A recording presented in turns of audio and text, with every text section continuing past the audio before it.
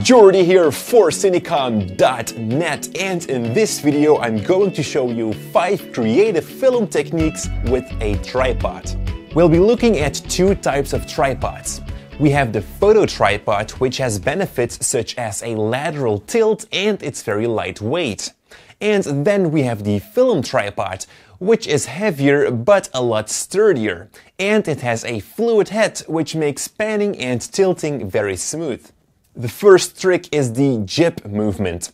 It works with both tripods, however I recommend the film tripod here.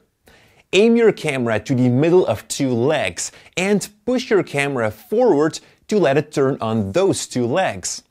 This technique gives you that little feeling of a jib. You can add an extra movement to it by panning as well. This will slant your angle. Next one is the Steadicam. We're going to use the photo tripod here. Attach your camera to it and flip it upside down. Now grab the extension from the middle and open the three legs. Because the weight of the camera is pulling itself down, we have a more steady motion when running around. This works very well when following someone close to the ground. Finally, don't forget to flip your image and post. The third trick is the drone shot. Again, we're going to use the photo tripod as we're going to need something lightweight. Now extend the legs to the maximum, but keep them closed. Tilt the head a bit more downwards and extend it above the subject.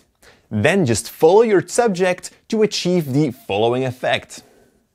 Number 4. And that's what I call the spin. You want to use a video tripod to have the best results now.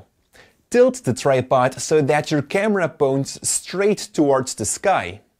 Then take a chair and lay your tripod onto it and sit on it. Now your camera sits horizontal and we can pan 360 degrees around.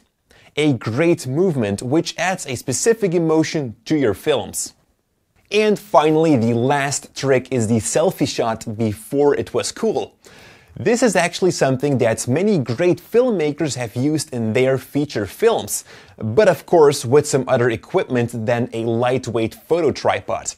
Extend two of the three legs a bit and point your camera a bit more to the ground.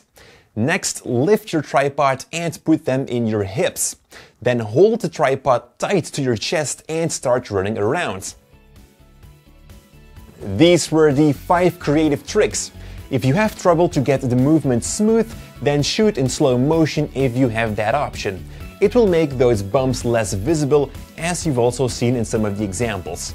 Thank you very much for watching and have a nice day.